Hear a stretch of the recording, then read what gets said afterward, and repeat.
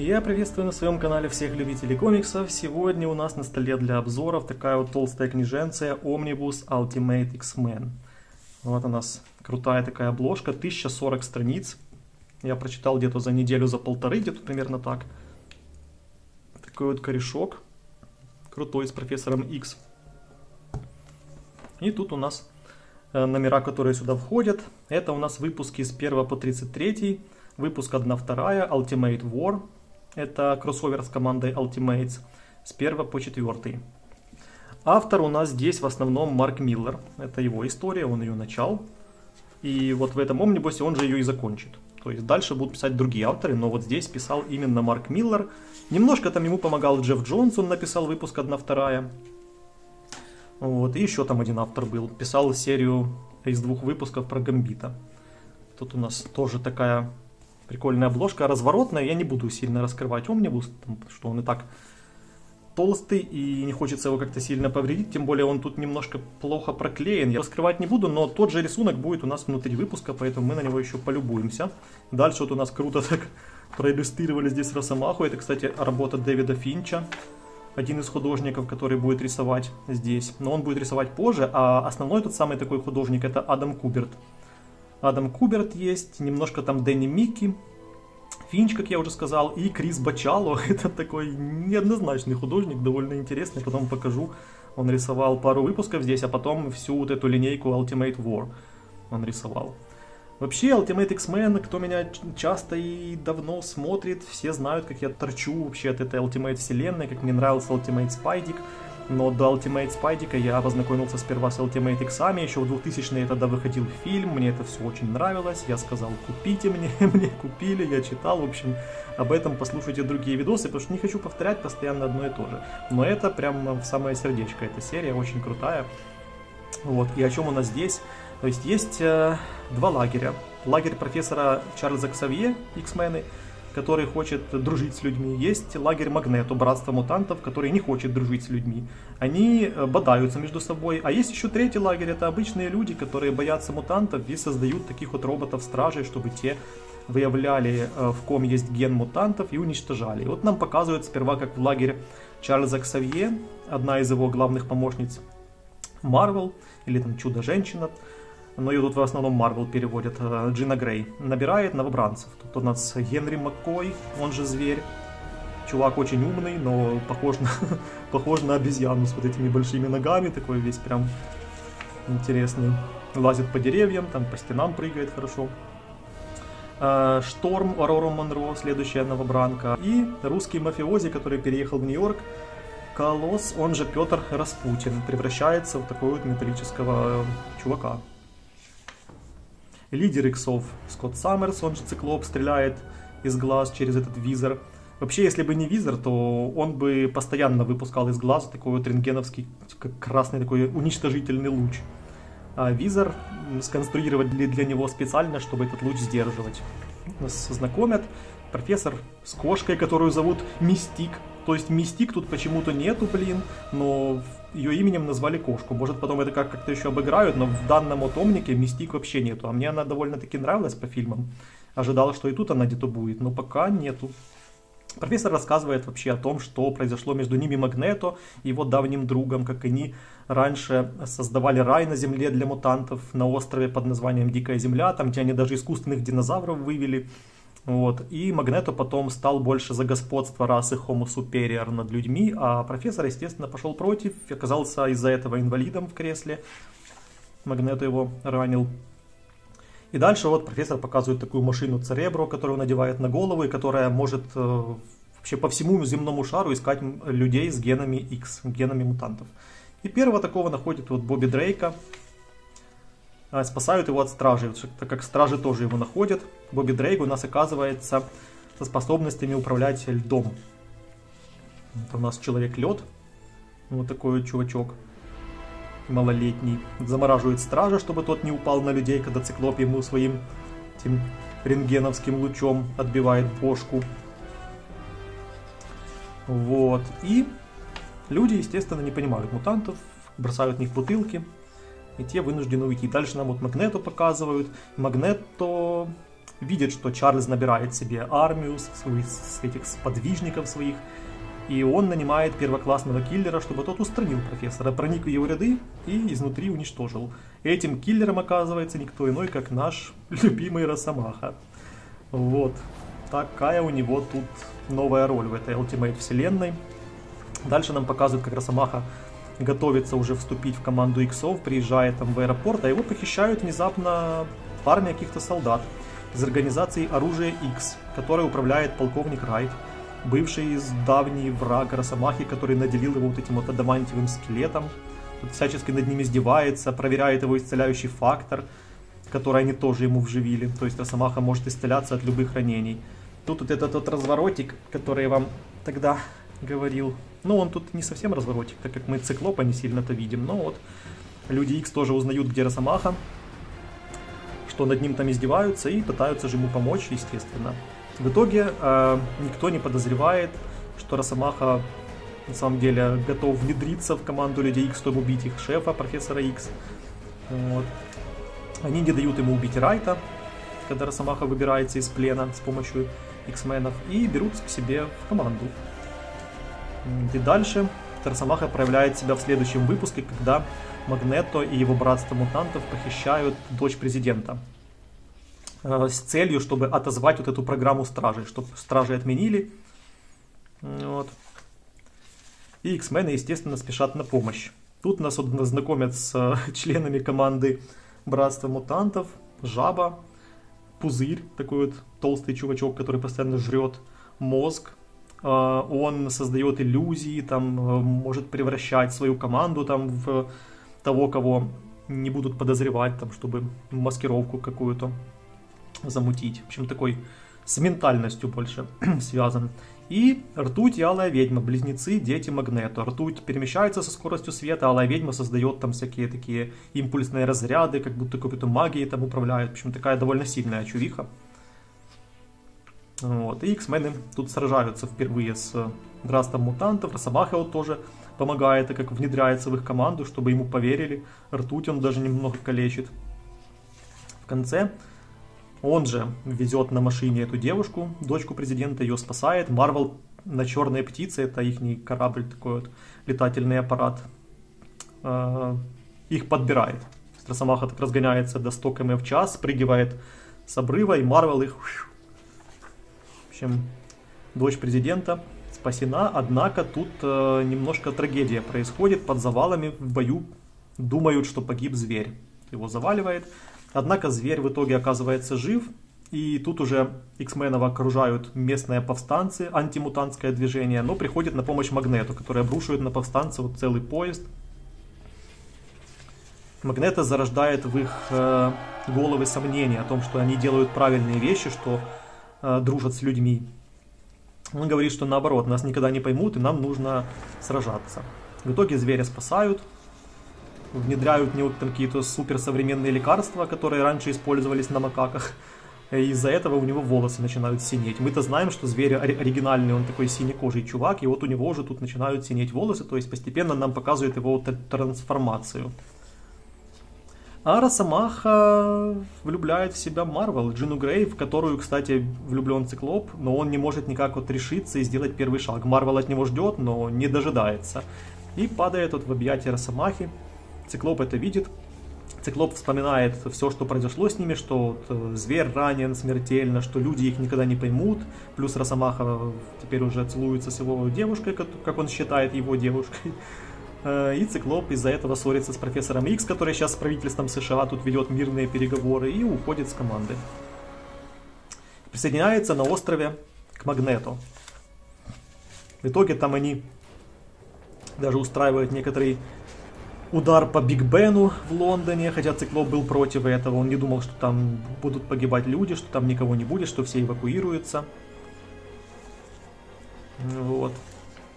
Профессор Икс э, встречается со своими X-менами с президентом, знакомит его со своей командой. Президент говорит, что мы обнаружили, где же убежище Магнето. Обнаружили дикую землю и посылаем туда вот наш финальный акт атака стражей, чтобы они там всех уничтожили, так как Магнето совсем вышел из-под контроля, уничтожил Биг Бен, взорвал. И вот э, стражи нападают на дикую землю. Все тут уничтожают, а Магнето успевает взять все под свой контроль, так как они что сделаны из металла, он их перепрограммирует. И теперь у стражей новая директива убить всех людей, всех, у кого нету гена X, всех, кто обычный человек. Они летят на Вашингтон. И Циклоп понимает, что выбрал не ту сторону и хочет вернуться назад.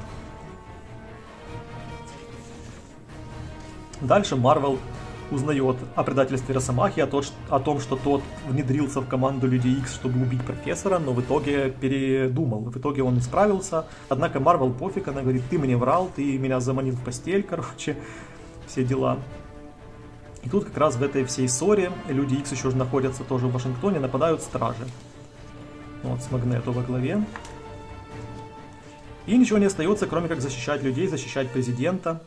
Росомаха тоже мчится на помощь, так как он не может уже дать погибнуть Чарльзу. Магнето вот раздевает президента, снимает его на камеру, унижает его перед э, миллионами зрителей. Хочет раздавить машиной, но не тут-то было, вступается профессор. Магнето его тоже ру рушит полностью, разбирает полностью его коляску. Тут подоспевает Росомаха на помощь, но тоже силы не равны против Магнето. И на помощь в последний момент приходит ртуть. Магнето постоянно шпынял своего сына.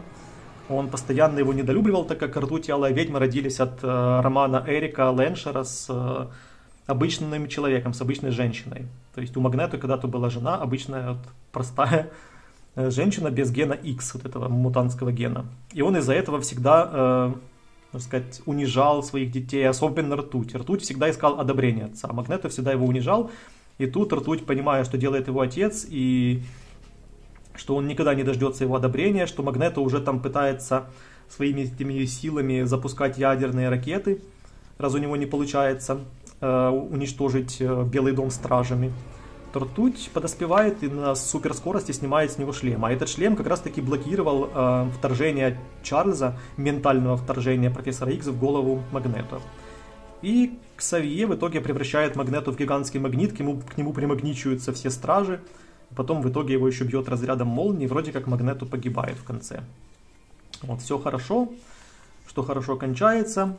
Э, люди снова на стороне мутантов, все отлично заканчивается. Дальше у нас выпуск 1-2, который рисовал Джефф Джонс. Тут о том, как дети Магнету, Ртуть и Алая Ведьма пытаются найти тело отца из-под конвоя его забрать. Им тут мешают X-мены, так как те нападают на военных. Потом оказывается, что тела нет, и только один шлем перевозили. Вот ртуть его в итоге забирает. Еще показывают такой небольшой романчик между циклопом и Алой Ведьмой. Э, Алая Ведьма, она, когда циклоп присоединился к братству мутантов, она пыталась все подбивать к нему клинья, но ничего не получалось. Так тот же больше э, любил Джину Грей. Вот. Но она вот на прощание его целует, говорит, что наши пути здесь расходятся. Вот, ртуть оставляет себе шлем отца. Дальше следующая сюжетная арка «Возвращение в оружие X». Нам тут снова показывают полковника Райта, который пытался тогда взять в плен Росомаху. Вот, оружие X это его организация, которая работает под надзором правительства и напрямую подчиняется организации Щит, которой правит э, генерал Росс. Это отец Бетти Росс, вот, девушки Халка нам показывают то, в каких нечеловеческих условиях содержатся здесь мутанты, включая вот ночного змея тут впервые показывают, как он пытается сбежать, его в итоге ловят. И в конце концов э, полковник Райт похищает X-менов, то есть он нападает на школу Людей X, похищает, берет их под стражу. Вот, а у X-менов тут тоже уже свои отношения. Зверь начал встречаться со Шторм, у них тут тоже романтика происходит. Росомаха пытается найти общий язык с циклопом. Джина с ним уже рассталась, порвала. И тоже, как и раньше, пытается дождаться внимания Скотта к ней. Скотт все никак не решается. И тут на них нападают. Нападают на школу Ксавье, Джаггернаут, Саблезубый. Вот тут, тут его тоже впервые показывают, злейший враг Росомахи, который работает на Райта. Райт его делал тоже по образу и подобию Росомахи, но Саблезуб получился не такой идеальный, как Росомаха, из-за этого Саблезуб всегда ненавидел Росомаху.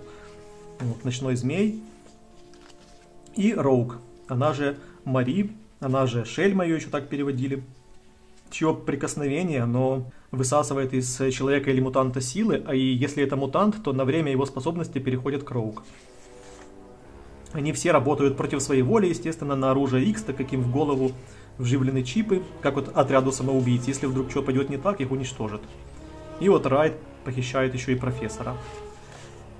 Вот. А их задача спасти агента Ника Фьюри, э, полковника Фьюри, который работает на этого генерала Росса, и который пропал где-то в Индии. Там он что-то там расследовал и пропал. Людям X вживляют вот эти вот чипы, заставляют их против их воли найти этого Ника Фьюри, доставить его. Вот они тут на первом задании. А Росомаху, кстати, не находят, потому что Росомаха тогда ушел от Людей X, и его вместе с ними не поймали. Вот, однако его потом тоже ловят, находят его. X-мены тут у них была последняя надежда на Росомаху, что мы дождемся, мол, тут в плену. И если что, он нас придет спасет. Однако потом нам показывают, как Саблезуб затаскивает к ним в камеры тоже уже такого вот сожженного напалмом Росомаху. Говорит, что никуда вы не уйдете, и он вам тоже ничем не поможет. А профессора вот тоже вживляют тут кучу разных таких трубок, кучу всякой херни. И тоже заставляют работать на оружие X. Дальше нам тут показывают флешбеки Ника Фьюри, как он познакомился с Росомахой еще раньше. Вот как Росомаха спас ему жизнь, и у Ника Фьюри теперь к нему должок. Фьюри X-мены тоже, кстати, спасают с этой его опасной миссии. И нам показывают, что генерал Росс говорит полковнику Райту, мол, правительство отказывается вас дальше на следующий год финансировать. Вы слишком э, жестокие методы применяете к мутантам, и вообще э, то, что вы делаете, неприемлемо. Райт говорит, для этого вы нас и наняли, чтобы кто-то делал то, что вы не можете, на что у вас не хватает яиц. Э, но Росс говорит, все, это точно твердое решение, финансирования никакого не будет. И потом полковник Райт представляет им профессора X и ментально заставляет Чарльза взорвать штаб-квартиру щита, где погибает этот генерал Росс. Вот. А Саблезубый выводит куда-то Росомаху, издевается над ним всячески, говорит, вот у меня тут э, твои документы о твоем прошлом, которые ты все хочешь разведать.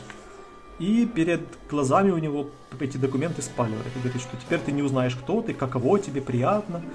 В итоге Росомаха вырывается и пробует дать отпор Саблезубу, а еще говорит, что я привел с собой друзей. Я еще до того, как вас э, найти, кое-кого позвал. И нам показывают, что он позвал братство мутантов чтобы те помогли X-менам спастись. Дальше у Росомахи происходит дуэль с Саблезубым. Вот. Братство мутантов вызволяет X-менов. Они тут все помогают друг другу, сражаются, чтобы спасти профессора. Вот. Профессора в итоге спасают. Колосс очень злится по поводу того, что люди с ними делают, и хочет уже обрушить вот эту всю конструкцию здания, чтобы уничтожить всех солдат внутри но ему не дают. Не дает ему это сделать Джина, так как ее еще изначально, когда оружие X их похитило, Джину против ее воли под угрозой жизни Циклопа заставили там убить одного человека, который разрабатывал э, мутантов с неодобрения правительства. Ну вот. Поэтому она говорит, что мы не убийцы, я не позволю тебе это сделать. В итоге они все спасаются. Полковник Райт пытается убежать, его тут ловит ночной змей, не дает ему уйти. Райт собирается его застрелить, но в итоге подоспевает Ник Фьюри и убивает Райта. И Ник Фьюри теперь становится главой щита после смерти генерала Росса. Росомаха возвращается в команду, а позже профессор признается Джинни Грей, что Магнето жив, и он его на самом деле не убивал. Дальше такая история из двух номеров.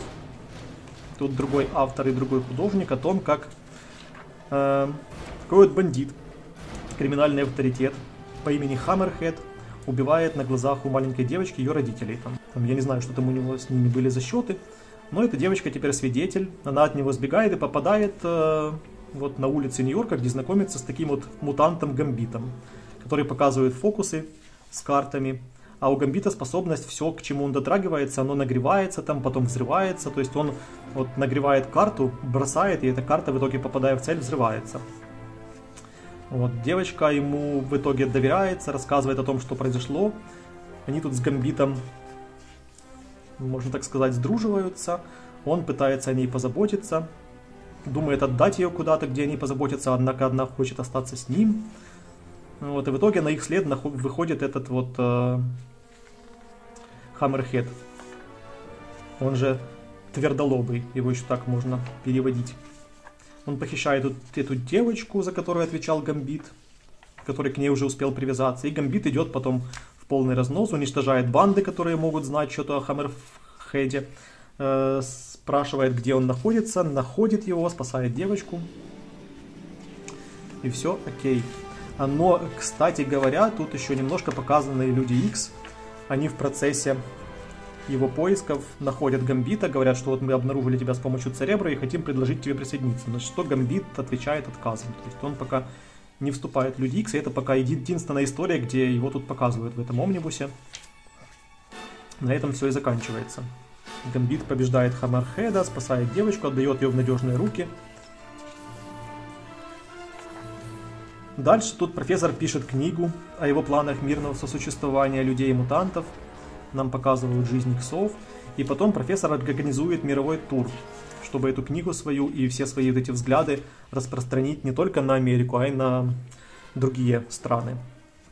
Также вот он показывает Колоссу, что Эрик Лэмшер, он же Магнето, жив на самом деле. Сейчас профессор ментально его перепрограммировал сознание. Тот играет с покалеченными инвалидами детьми в парке. Живет с там, женщиной одной на квартире, то есть они вместе с, с обычным человеком. И чувствует себя хорошо, не хочет никому причинить зла. И вот Магнето их замечает и говорит, мы с вами раньше не встречались. А профессор говорит, нет, все нормально, ты меня раньше никогда не видел. Вот. А у зверя тоже происходит тут сомнение, и он начинает сомневаться, что действительно ли Шторм его полюбила, исходя из того, как он выглядит, что он такой звереподобный чувак. А, тут зарождаются сомнения, может быть, профессор действительно промывает голову и своим ученикам, так как он промыл голову Магнета, и заставляет их поверить, что они там любят кого-то, что они привязываются к кому-то. И на этой почве у зверя и Шторм происходят размолвки, и зверь начинает переписываться с какой-то э, подругой в интернете. Но мы-то знаем, как это бывает. Если тебе с э, другого конца экрана через инет пишет какая-то симпотная девочка с симпотной аватаркой, то по-любому на другом конце экрана жирный, толстый мужлан. Так и оказывается, в случае зверя он переписывается с пузырем. Оказывается, на том конце экрана братство мутантов и пузырь э, специально разводит зверя, чтобы он, возможно, выдал какие-то тайны людей X.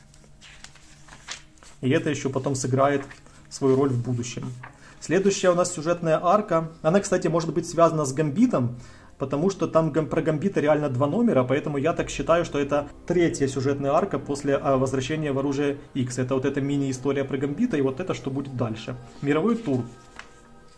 Как раз таки о том, о чем я говорю, что профессор пытается организовать мировой тур для своих мутантов, где они будут там помогать людям в разных э, концах мира, а также рекламировать свою вот эту книгу и нам показывают, э, что профессору звонит его бывшая жена Мойра Мактагерт. Она тоже довольно-таки там э, крутой доктор с учеными степенями. И говорит, что сбежал твой сын, сын Дэвид. И нам тут рассказывают историю про сына профессора, который родился с геном мутантов. Он мог переселять свое сознание в разных людей. Как профессор их в прошлом бросил из-за того, что подружился с Магнето и можно сказать так, проникся идеями Магнета. Эм, тогда он еще не знал, что эти идеи будут э, потом уничтожительными для людей. Э, Мойра во всем винила профессора, также эту, эту, эту злость перенял их сын Дэвид.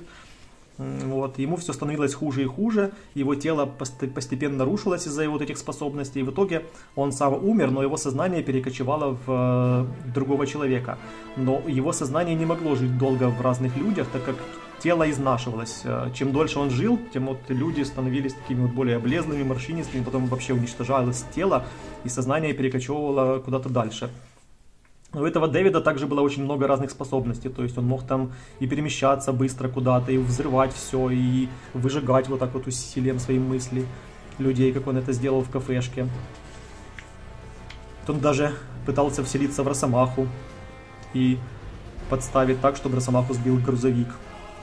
То есть обозленный был на своего отца, И в то же время еще э, не хватало больше нам проблем, как мы узнали, что Циклоп э, и Марвел пошли за Колоссом, который уехал в Россию. Он ушел э, из команды из-за того, что не мог уже терпеть вот это издевательство людей, что что бы они хорошего не делали, сколько бы они всего не делали, люди их не принимали. Тут, кстати, вот эти выпуски начал рисовать Крис Бачало, тот художник интересный, о котором я вам говорил. Можете сами посмотреть. А профессору пом- помогала ловить его сына некая Бетти Брэдок, такой вот телепат. Ее еще называют Psylocke. Это ее тут Ultimate версия Psylocke. Но в итоге оказалось, что э, на постепенно, постепенно что-то у профессора там расспрашивала про его прошлое, как он поступал со своим сыном. Оказалось, что все это время в Бетти Брэдок в голове уже сидел Дэвид. То есть он пытался сблизиться с отцом и понять, чувствует ли он вину за то, что тот ушел из семьи. А у Колосса тут тоже были свои проблемы. Э, подводная лодка застряла где-то в океане, и все ждали, что кто-то спасет, кто, кто-то придет на помощь. И Колосс все не хотел этого делать, потому что он уже отдалился от X-менов, отдалился от этого супергеройства, что люди никогда не будут ему благодарны. В итоге он послушался Циклопа и Джину и пересилил себя, пересилил свою гордость и спас вот эту подводную лодку, вытащил ее с дна океана. И решил таки вернуться снова к X-менам. Там люди окружили его, стали брать у него интервью, благодарить его за это все. И он решил таки попробовать еще раз. Такая вот у него была тут личная дилемма, можно так сказать. А потом вот уже Бетси Брэдок, э, точнее Дэвид в теле Бетси Брэдок признался, что это он. Начал тут э, нападать на своего отца, на X-менов, всех просто разбрасывать. Его тело вот э, этой Бетси Брэдок деформировалось, стало вот таким каким-то уродливым. Потом он профессора X перемещал, говорил, отец, раз тебя этот твой мировой тур был так важнее своего сына, я тебе устрою мировой тур. И он, э, профессор X, перемещал по разным странам и в каждой стране убивал большое количество людей прямо на глазах у отца. Профессор не мог ничего сделать. В итоге все закончилось тем, что Бетси Брэдок э, согласилась, она, она как бы задействовала свое сознание, она очень сильный телепат, и она пыталась бороться за свое тело. Она согласилась с тем, что лучше ее тело пусть убьют, но уничтожат Дэвида. И в итоге вернувшийся колосс э, машиной раздавил Дэвида в смятку, тем самым убил сына профессора. Тут на похоронах Дэвида профессор принял решение распустить людей X. Он чувствовал большую вину за то, что оставил своего сына ради своих целей, и даже сейчас больше заботился о своей книге, нежели о том, что будет с его ребенком. Но в конце нам показывают, что вот он пытается уже писать прощальное письмо, а потом идет поговорить с Магнето, который сейчас перепрограммированный, с детишками в парке. И Магнето говорит, что я проникся тем, во что вы верите, Чарльз. Я даже купил билеты на ваши лекции и хотел их посетить. И профессор, понимая, что ему это говорит его бывший лучший друг, тот, кто хотел наоборот уничтожать людей, и то, что он с ним сейчас сделал, наоборот, изменил его в лучшую сторону, он говорит спасибо тебе, Эрик, не сдерживает эмоций, Эрик его обнимает, и в итоге профессор решает восстановить команду. А, кстати, еще упустил момент, что Дэвид в сражении с профессором и его людьми X э, сильно калечит Человека Льда. То есть Бобби Дрейк сейчас находится почти что в таком комовом состоянии. И, наконец-то, Циклоп уже решается, Циклоп демонстрирует, что у него наконец-то появляются яйца и сближается с Джиной Грей постепенно. Следующая у нас история Hellfire and Brimstone. Адский огонь и пепел, по-моему, переводится. О том, как к ним в команду присоединяется такая вот новая ученица по имени Китти Прайд. Она же потом будет называть себя призрачной кошкой. Вот такая девушка, которая умеет проходить сквозь стены, но не контролируя свои способности, она там может через этаж провалиться и так далее. То есть ее надо как-то научить контролировать. И ее мать соглашается отправить ее в школу к Савье, но она при этом говорит профессору, что не посылает ее на свои вот эти смертельные задания по спасению мира. Я хочу, чтобы моя дочь просто училась и больше ничего не делала. Вот. Она тут знакомится с X-менами, и эта история, она такая больше вначале спокойная, а постепенно нам показывают, что у Джины Грей просыпается некая сущность внутри, которая вот является вот этим вот э, фениксом, огненным фениксом, который постепенно ею завладевает. Она там видит какие-то видения, она не понимает, что с ней происходит. Вот. Также нам показывают, тут немножко уделяют внимание братству мутантов, как они Э, Ртуть и Алая Ведьма договорились с правительством, они там помогают правительству сражаться с террористами, а некий вот такой вот новый член Братства Мутантов, полуобезьяна, Он, э, наоборот, считает, что братство мутантов после смерти Магнето сдулось и теперь работает на людишек, в то время как они должны, наоборот, сражаться с людьми. И Пузырь нам тоже показывает, как продолжает общаться со, со зверем, выдавать себя за красивую, смазливую подругу и все хочет с ним встретиться. У Циклопа и Росомахи происходит конфликт. Циклоп не выдерживает, бьет Росомаху, когда тот на почве ревности Джины к Циклопу заявляет, что с тех пор, как у вас с ней начались отношения, у Джины стали вот эти видения. Ты, вижу, он плохо на нее влияешь, и она из-за тебя может погибнуть. И, в общем, он специально выводит Циклопа на вот этот вот удар, чтобы потом выбить из Циклопа всю дурь на почве этой всей ревности. Вот они тут дерутся, их вовремя останавливают, потому что это все видела Титти Прайд, и она обращается к профессору за помощью. У Джины снова продолжаются видения. Тут снова у нас такой новый мультяшный художник появляется. А потом нам позже э, еще рассказывают, что все это время э, институт профессора финансировала некая секретная организация, потому что тут же задаешься вопросом, откуда у профессора столько бабла на вот этот институт, на вот это все эти удобства, все эти технологии. Оказывается, что некая организация финансировала профессора все это время, и нам рассказывают, кто это. Она называется «Клуб адского огня». Также в качестве наказания Циклопа и Росомаху профессор посылает на Дикую Землю, чтобы те разведали, э, кто же убивает там солдат, которые там пытаются понять, что осталось после Магнета, вот это все пытаются там разведать, собрать какие-то материалы, их там кто-то убивает. Росомаха и Циклоп в качестве наказания, чтобы они научились больше доверять друг другу, встречают тут, тут таких вот тиранозавров, Потом узнают, что с ними проникла в тайне Кити Прайд, которую не пускали на задание, она все хотела экшена. Вот, а зверь все переписывается с пузырем и пробалтывается пузырю о том, что Магнета жив на самом деле. Э, он же думает, что там смазливая девушка с ним общается, и он ей все секреты свои рассказывает. В итоге зверю назначают встречу, пытаясь понять, где же находится Магнето.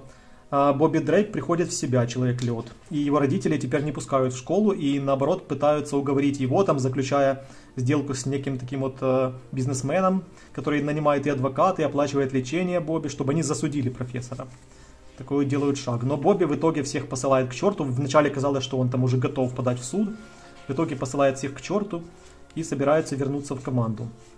Росомаха и Циклоп обнаруживают что на дикой земле собрался из кусков там воедино такой вот мега суперкомпьютерный мозг, которого создал Магнето там со своими э, умными мутантами. И этот компьютер он ожил как это искусственный интеллект. Еще в 2000-х годах нам говорили, что искусственный интеллект, если его создавать, он в итоге будет саморепликацироваться, самособираться и потом идти против человечества. И вот он сейчас собирает себе армию, перепрограммирует э, солдат, которых он убил, оживляет их вот. Их нейроны, они теперь как зомби. И нападает на Циклопа и Росомаху. В итоге Кити Прайд проникает в, этот, в, в этого робота, она же там может перемещаться сквозь поверхности и разрушает его, но на них нападают это, это вот полчища. Дальше нас знакомят с вот этим вот чуваком, Себастьяном Шоу. Это глава вот этого клуба адского пламени. Он приглашает X-менов с профессором на гала-вечеринку. Э, в честь того, что он готовится снова там на следующий год их финансировать, чтобы они тут повстречали разных знаменитостей, чтобы профессор показал своих мутантов, вывел их в люди.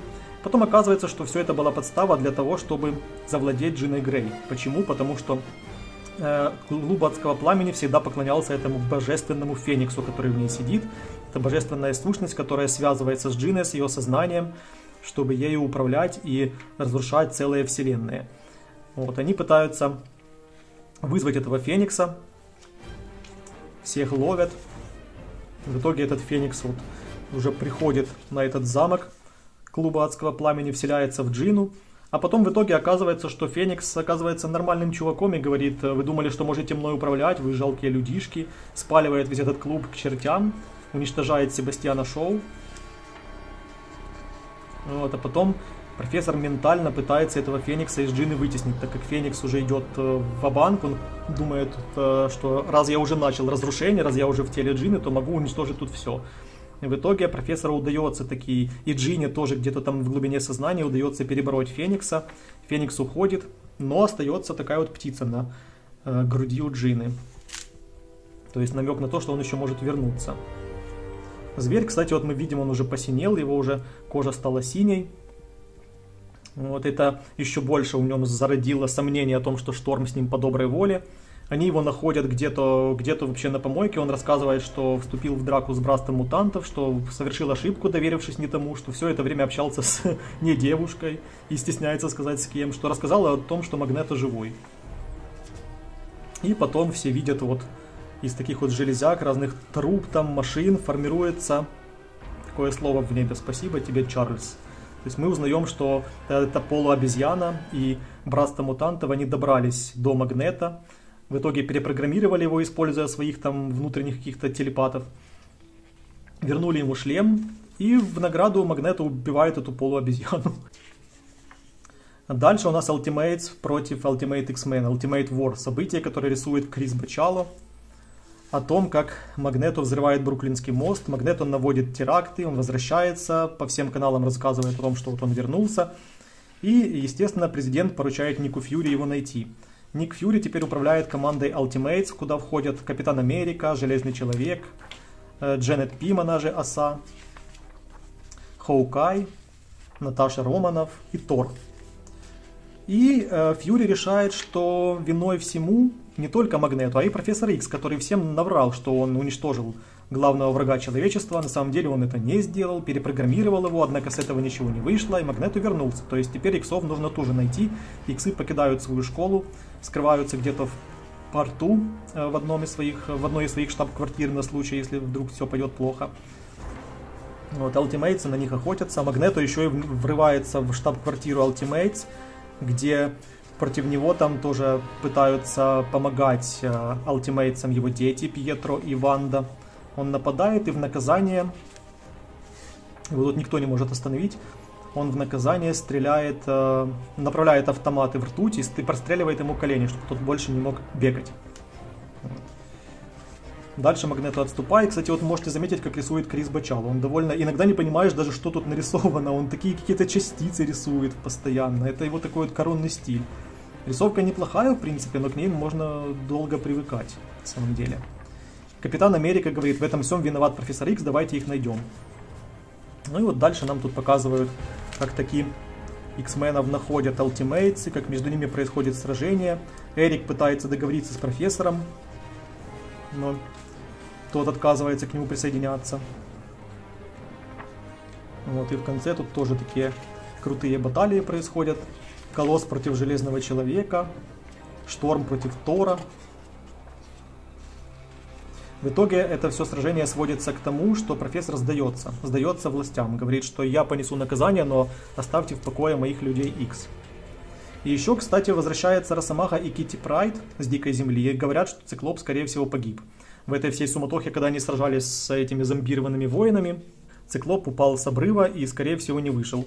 Джину, кстати, берут сомнения о том, что Циклоп погиб своей смертью. Он считает, что Росомаха, скорее всего, его подставил, чтобы быть с ней. В итоге она все еще Росомаху ненавидит, не доверяет ему. Росомаха против Кэпа дерутся. Кстати, капитан ему говорит, что я тебя узнаю со времен еще Второй мировой. Ты капрал Джеймс Хоулит. Росомаха говорит, я ничего не знаю, о чем ты говоришь, я никакой не капрал. Вот, и мы узнаем, что капитану известны какие-то факты прошлого Росомахи, которые тот все пытается как-то разузнать. Вот Бобби Дрейк, Человек-лед, уже полноценно возвращается в команду, тоже помогает против Ultimates. Ну вот, как я говорю, профессор сдается таки властям. Ultimates его пленяют в какую-то камеру. X-мены пока что успев, успевают э, сбежать.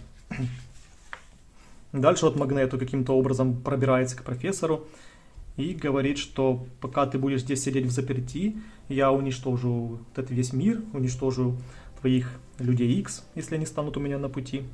И наступает новая эра. И последняя арка «Возвращение короля» называется. О том, как вот как раз таки Магнето свой этот ультимативный, свой главный план приводит в действие.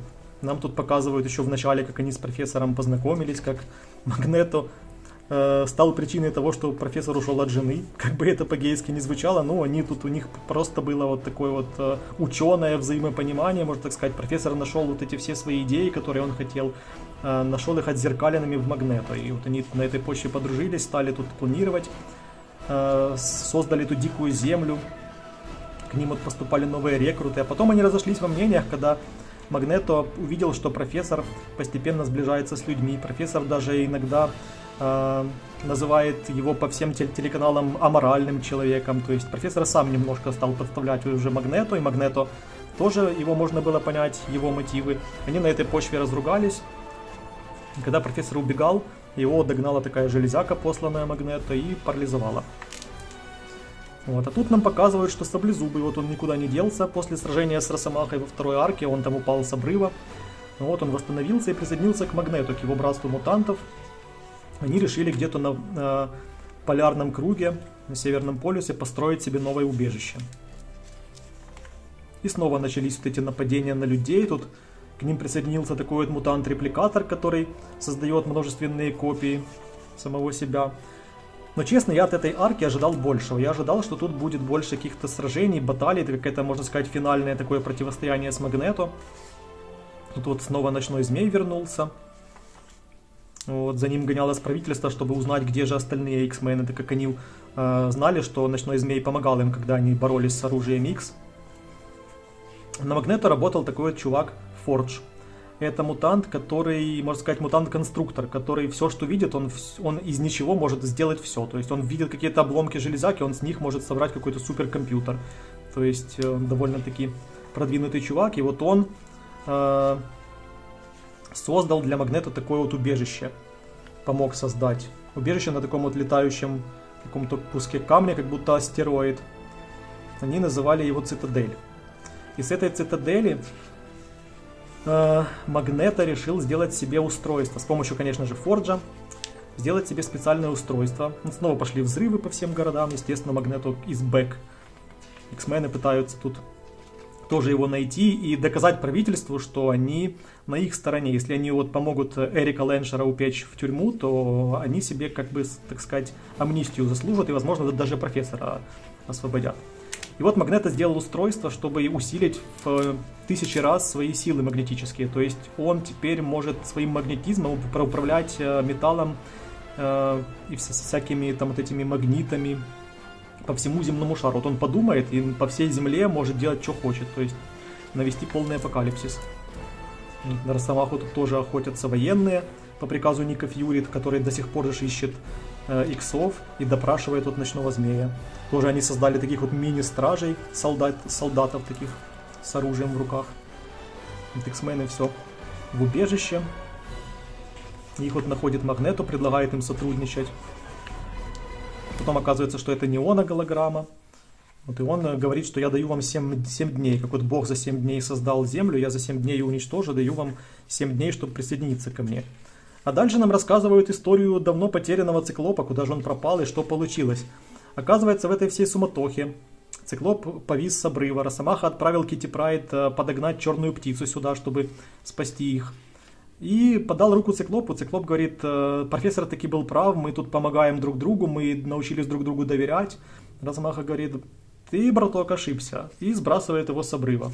Короче, Росомаха действительно, как все и думали, как Джина думала, хотел убить Циклопа, чтобы быть с ней. Циклоп проснулся в, уже вот в какашку полностью, весь убитый, поломанный, переломанный. И в процессе его потом нашли э, люди Магнето, которые тоже исследовали Дикую Землю, возможно, там что-то хотели для Форджа найти, какое-то оборудование. Циклоп тут уже и галеники видел, уже без воды, там без еды, много дней пролежал. Ну вот нам тоже показывают, что у Шторм еще остались чувства к зверю, хоть она и винила его за то, что тот переписывался с этим жирным ублюдком, который э, потом натравил на него братство мутантов, и не из-за зверя, можно так сказать, узнали, что Магнето жив. Но она говорит, что я тебя еще до сих пор люблю, и что профессор нами никогда не управлял, мы никогда не управлял, не манипулировал моими чувствами к тебе. Тоже такая тут происходит милота а Циклопа доставляют в цитадель. Они пока еще не знают, кто это, его лечат тут, сращивают ему все кости, то есть с ним все происходит хорошо. И Циклоп как раз таки становится вот, этой вот, вот этим вот секретным оружием, который потом позже вызывает сюда людей X, они находят убежище Магнето. Фордж немножко сомневается в целях Магнето, так как Магнето раскрывает свой этот гениальный план. Он, э, как Ной, как, как Ной, построил ковчег, здесь вот на этой цитадели собрал э, из всех животных по каждой особи там, мужского, женского пола, там даже двух людей собрал, там умнейших, умнейших людей планеты. А, и он хочет, э, подключившись к этому устройству, усиливающему его способности, устроить э, просто а, апокалипсис, который уничтожит всю человеческую расу. То есть он поменяет магнитные полюса Земли. Из-за этого ураганы, глобальное потепление, растают ледники, человечество просто сметется. И Фордж уже сомневается в гуманности этих целей, в том, что он делает правильно, что помогает Магнету строить эту штуку. Но Магнет убеждает его, что в итоге я же не убиваю всех людей, я же забрал от двух умников, они потом будут служить нам, они создадут там э, новые условия для существования, мы потом возродим это все. Но, естественно, у него ничего не получается, циклоп вырывается вот из своей больничной койки, приводит сюда X-менов, Магнета успевает еще подключиться к этому устройству, вот уже по всей земле происходят какие-то, начинаются изменения, ураганы начинаются. Но Циклоп его вовремя вырубает своим лазерем, и приводит подмогу. Вот. Магнета успевают победить общими усилиями. Это устройство вырубает Кити Прайд, так как она может проникать же сквозь машины. Но случается кое-что очень страшное.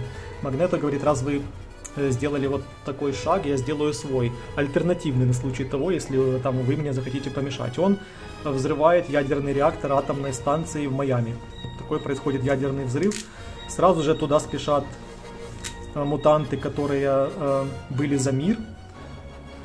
Туда же спешит профессор, он вырывается из заточения Ника Фьюри, так как у него там э, в компании с ним были другие мутанты, которые помогли ему спастись, включая Ночного Змея, Роук, которую туда посадили после того, как она работала на оружие X.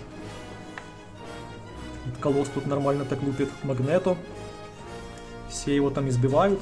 А профессор пытается с помощью Роук, с помощью ее способностей и других мутантов сдержать распространение радиации. Тут он создает такое поле вот, и пытается эту всю радиацию удержать каким-то образом. На помощь в конце приходит Джин, которая э, говорит, что я уже научилась контролировать Феникса внутри меня. Она активирует этого Феникса, эту безграничную силу, и приходит на помощь. Она вот этот весь, эту всю область, где была эта станция, она ее просто поднимает в воздух, даже профессор сам такого не ожидал, и взрывает. А Циклоп встречается лицом к лицу с тем, кто хотел его убить, с Росомахой. И Росомаха говорит, ты имеешь полное право на меня злиться, я признаю, что был неправ, ты нам был сейчас очень полезен в борьбе с Магнето, молодец, что нас вызвал, типа, я, если хочешь, я искуплю свою вину, и Циклоп без разговора просто расхерачивает его этим своим зрением, лучом и говорит, кстати, ты... Кстати, кстати, ты уволен, как говорит Наталья, морская пехота, и выгоняет его из команды. Вот. Дальше у нас тут, в основном вот это событие, я от него ожидал, что в последних номерах будет куча много экшена. А тут еще два номера, и тут в основном на том, как э, профессора ам амнистируют, как правительство снова доверяет людям X, как Ник Фьюри э, убеждает президента дать людям X еще один шанс, потому что он э, говорит, что мы, мы, мы теперь возьмем их под свой контроль. Теперь мы их будем финансировать, и они будут на нас работать. То есть мы будем их контролировать. Хотя людям X он обещает, что не думайте, что там по вашей школе будет постоянно разгуливать наша охрана из щита. Вот, пусть это вас не беспокоит. Ночной змей присоединяется уже к людям X полностью, также присоединяется к людям X Роук, вот ее родители приводят. Тут такое, можно сказать, родительское собрание устраивают, приводят родители Э, родителей разных мутантов, которые здесь в школе профессора, а также узнается, что жива Псайлок, Бетси Брэдок, которую пытался ментально разрушить э, сын профессора, и которую раздавил, тело которой раздавил колосс потом машиной. Она, оказывается, ее сознание было живо, и оно переселилось в такую вот э, азиатскую девушку. И теперь она тоже становится студенткой профессора. Тут Тони Старк тоже приходит на это собрание и спрашивают у Шторми Джины, а вам есть 18? И говорят, да. Говорит, слава богу, а то мой визит сюда был, бы вообще зря.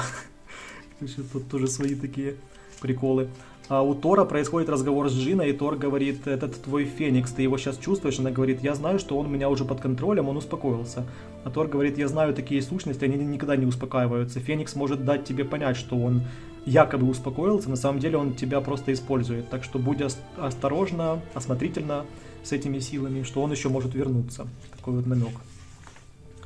И в конце нам показывают диалог профессора и Магнето, которого поместили в пластиковую камеру, чтобы он тут не мог управлять больше ничем металлическим.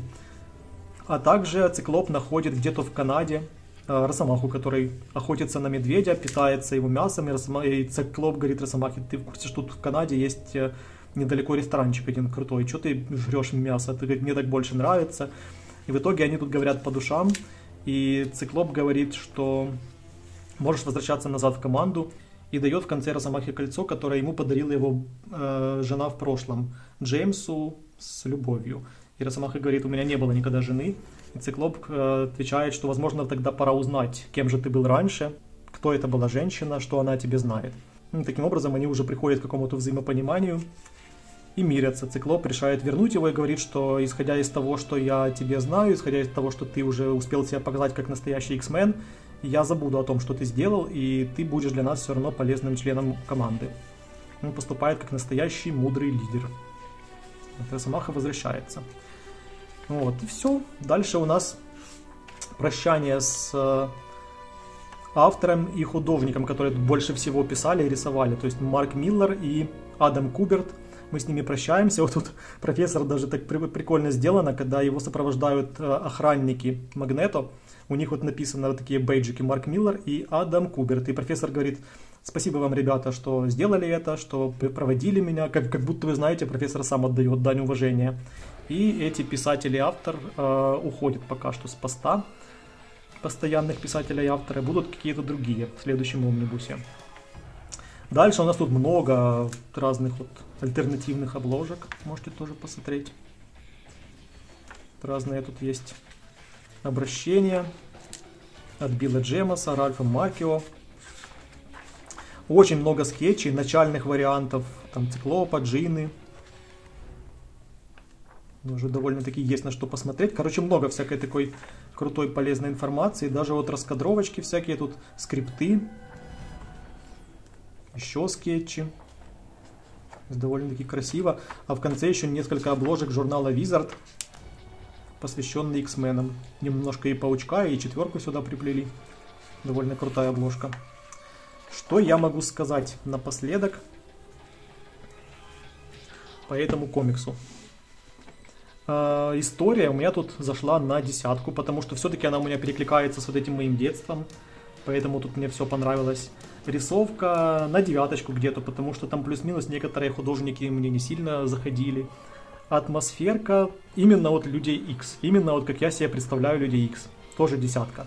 Единственное замечание у меня здесь, вот последней арке Возвращение короля. Как-то рано они ее закончили, вот это вот противостояние с Магнета, рано вот эта финальная битва случилась, и потом два номера просто какие-то разговорные итоговые моменты они могли уместить в один номер. Ну вот, немножко как-то растянули это все. А так, в целом, мне все понравилось, все устроило, достойно Марк Миллер завершил вот этот свой ран. Посмотрим, что у нас будет дальше, что для нас приготовят другие авторы. А на сегодня все. Подписывайтесь, ставьте пальцы вверх. Уже и так тут много с вами разговорился. До новых встреч, до новых обзоров. Всем пока.